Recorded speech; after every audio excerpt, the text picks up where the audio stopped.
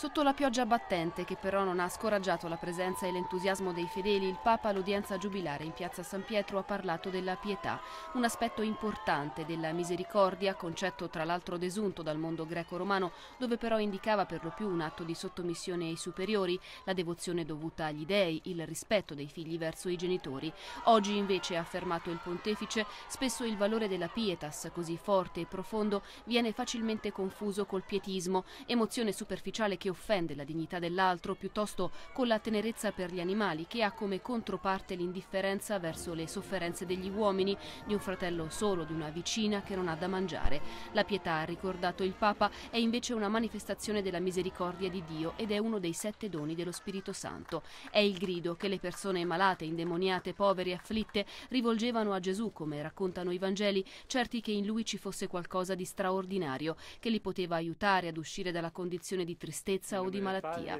e ogni volta che qualcuno diceva abbi pietà, Gesù si impietosiva e li chiamava ad avere fede. Quel grido è lo stesso, ha concluso Papa Francesco, che dobbiamo imparare anche noi oggi a riconoscere. Per Gesù provare pietà equivale a condividere la tristezza di chi incontra, ma allo stesso tempo a operare in prima persona per trasformarla in gioia. Anche noi siamo chiamati